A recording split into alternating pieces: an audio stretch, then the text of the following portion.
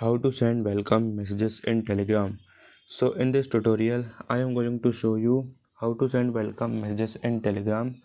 So for that first of all you have to open your telegram app. Now you have to click on search bar and search rose and you will see a bot called rose. You have to simply open this bot. Now you will have an interface like this. Here you have to simply click on start and now you will have an interface like this.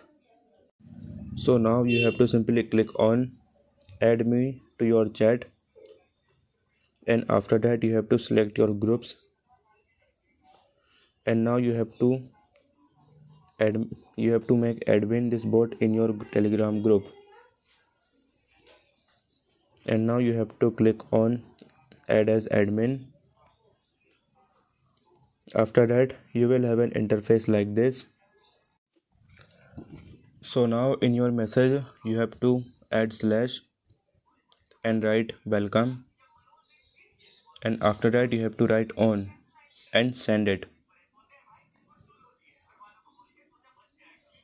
So now you will have an interface like this. So here you have to click on again slash.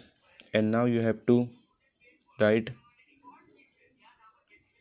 set welcome and now you have to write a text which you which you want to send a new member automatically. So let's say i'm write this.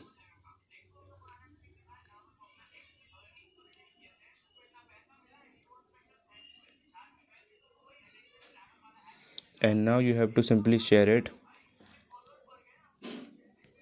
And now this bot automatically send this message to every new member. So that's how you can send welcome messages in telegram. So if you like this video please subscribe to my channel